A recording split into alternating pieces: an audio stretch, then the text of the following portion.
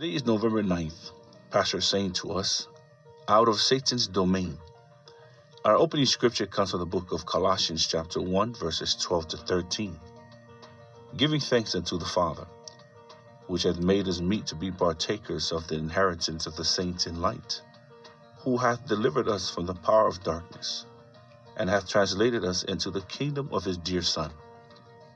Being born again, you've been translated or transferred from the domain of darkness into the kingdom of God. is a domain of life, light, and great glory.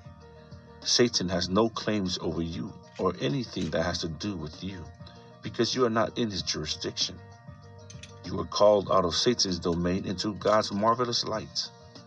But you are a chosen generation, a royal priesthood, an holy nation, a peculiar people, that you shall show forth the praises of him who hath called you out of darkness into his marvelous light.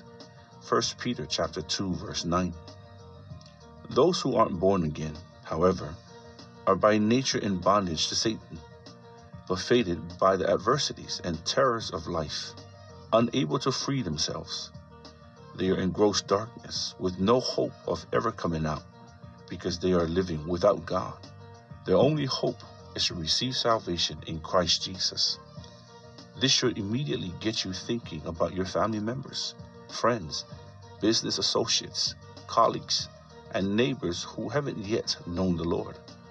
You are God's vessel to bring them into salvation in Christ, to bring them out of darkness and the domain of Satan into the light and glorious liberty of the sons of God. 2 Corinthians chapter 5 verse 19 says, To wit, that God was in Christ, reconciling the world unto himself, not imputing their trespasses unto them, and hath committed unto us the word of reconciliation. No human being can save himself. We couldn't have done it by ourselves. And that's why Jesus came.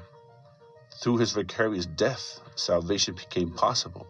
And through his glorious resurrection, eternal life was made available. It's what makes us superior to Satan and above the elements of this present world of darkness. We have eternal life the God nature.